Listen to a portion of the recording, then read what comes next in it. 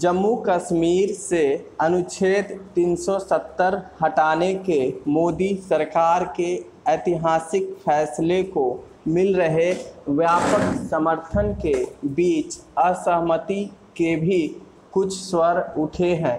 इतने बड़े देश में ऐसा होना स्वाभाविक है, लेकिन इस फैसले से असहमत लोग कश्मीर की अशांति की आड़ में अपना राजनीतिक एजेंडा चलाने वालों को जाने अनजाने जिस तरह खाद पानी देने का काम कर रहे हैं, वह ठीक नहीं।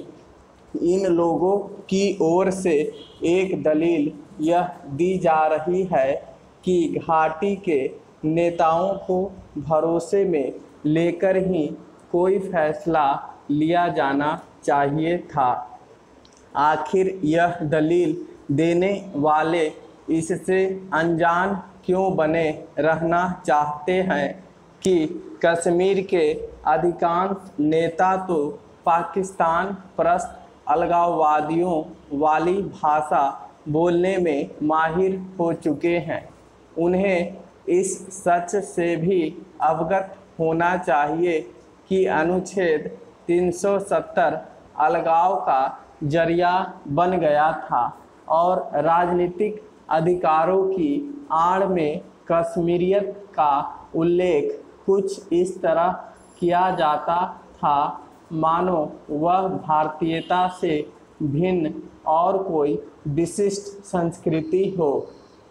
बेहतर हो कि अनुच्छेद 370 हटाने का विरोध कर रहे नेता और विधायक इस प्रश्न पर विचार करें कि आखिर इस अनुच्छेद से कश्मीर और साथ ही देश को हासिल क्या हुआ?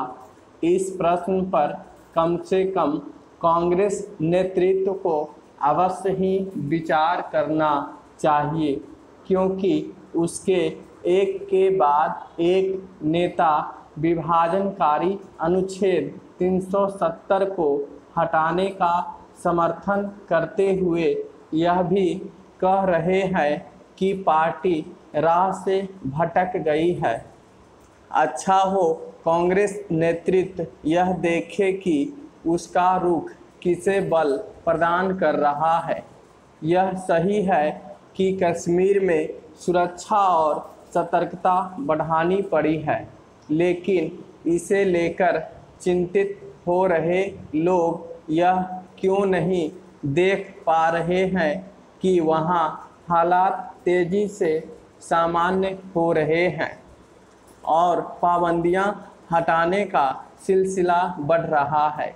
यह विशेष रूप से उल्लेखनीय है कि बीते एक पखवाड़े में, घाटी में जान माल का नुकसान नहीं हुआ है।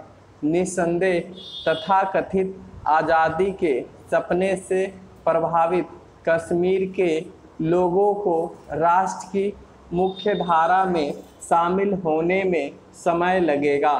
लेकिन इसका यह मतलब नहीं कि ऐसे कश्मीरियों को यह दिवा स्वप्न दिखाया जाए कि बीते हुए दिन फिर लौट सकते हैं। यह नहीं हो सकता क्योंकि इस मामले में देश न केवल एकजुट है, बल्कि दृढ़ संकल्पित भी है। इसी संकल्प भाव के कारण ही कश्मीर में आतंक और अलगाववाद के समर्थकों के हौसले पस्त हैं और पाकिस्तान को समझ नहीं आ रहा है कि वह करे तो क्या करे। यह सही समय है जब कश्मीर संबंधी फैसले पर राष्ट्र एक स्वर में बोले, क्योंकि इसी से दुनिया को यह संदेश जाएगा कि भारत अपने रुख से टस से मस होने वाला नहीं।